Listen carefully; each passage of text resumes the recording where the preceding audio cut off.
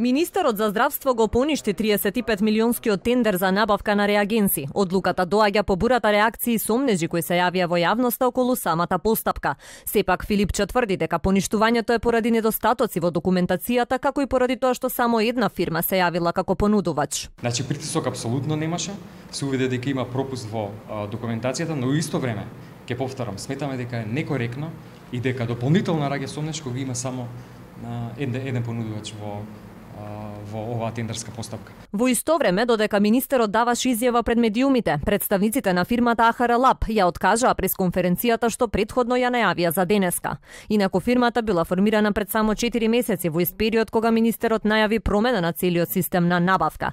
Филипче сега најавува нов тендер кој ќе биде распишан во законските рокови. Во следните постапки ќе имплементираме сите искуства кои што ги собравме за време на оваа постапка, се со цел да не се соочиме со истото.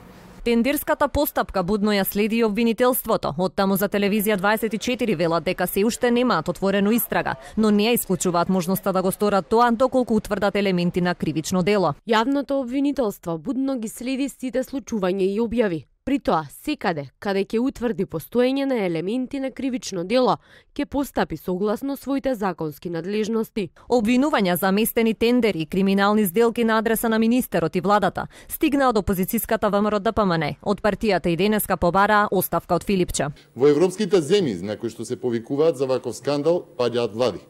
Тоа што Филипче го поништи тендерот може да биде само олеснителна околност, но никако нема да го амнестира од кривична одговорност за скандалозната набавка. До Државната комисија за жалби по јавни набавки, неколку фирми веќе поднеле жалби за оваа тендерска постапка. Министерот вели дека ќе им биде одговорено на сите оператори кои приговарале на одредени делови од постапката.